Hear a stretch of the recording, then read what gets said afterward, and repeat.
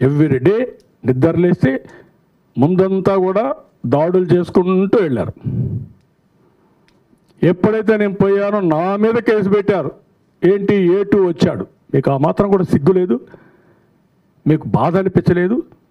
నేను ప్రోగ్రామ్ ఇచ్చి వెళుతున్నానంటే ఆయన వస్తాడు. నేను వెళ్ళే లోపల ఆడు ఎవరో ఒక వాటర్ బాటిల్ వేసారంటే నా మీద కేసు పెడతారు. Attempt to murder. What is this? Attempt murder పెట్టి అరెస్ట్ చేసి కళా వెంకటరావు అరెస్ట్ చేస్తారు. మళ్ళా సాయంత్రం వదిలిపెడతారు.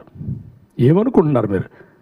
దేనికైనా హద్దులు ఉంటాయి పద్ధతి ఉంటుంది కబద్దారు జాగ్రత్తగా ఉండండి. ఇదే మరుగా అనుకోని ఉంటే వీళ్ళు ఎక్కడుండేవాళ్ళండి ఇంకా నేను బ్లంట్గా చెప్పాలంటే చాలా చెప్పాల్సి వస్తుంది. ఇది మంచి పద్ధతి కాదు వాళ్ళ సిస్టరే చెప్పింది కడాన. ఇది రాజారెడ్డి రాజ్యాంగంగా ఉంది. రాజన్న మార్గం కాదని వివేకానంద రెడ్డి చంపితే ఇంతవరకు దిక్కు లేదు. ఐఎమ్ ఆస్కింగ్ దిస్ క్వశ్చన్ సిగ్గుంటే ఎక్కడ పెట్టుకుంటా నీ తలదేశపై? కుటుంబ సభ్యులను చంపేసి నువ్వు మళ్ళా పెద్ద వీరుడు మారిగా పోటుగాడు మారి తిరుగుతూ ఇవన్నీ చేస్తావా నువ్వు? ప్రజలంతా కూడా భయపడుతున్నారని ఇంకా భయభ్రాంతులు చేస్తావా?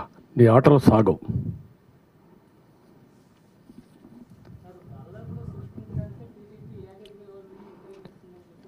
డెఫినెట్గా గ్రామంలో ప్రజాస్వామ్యం ఉండాలి. నీ దోపిడీకి అడ్డుపడాలి. సమర్థవంతమైన నాయకత్వం ఉండాలి. ఇనానమస్గా మీకెందుకండి? గ్రామాలు డిసైడ్ చేసుకుంటారు. Who are you to decide unanimous అవునా కాదా అని మనకెందుకు ఇవన్నీ? వాళ్ళకి తెలియలేవా నీకు పెద్ద తెలివా?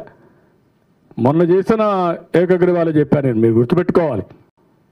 మీరు మీడియా అంతా కూడా గుర్తుపెట్టుకోవాల్సింది మీరు మా తరపున పోరాడాలి ప్రజల తరపున పోరాడాలి. మాకు ఒక్కరికే కాదు రెస్పాన్సిబిలిటీ మన అందరికీ రెస్పాన్సిబిలిటీ ఉంది.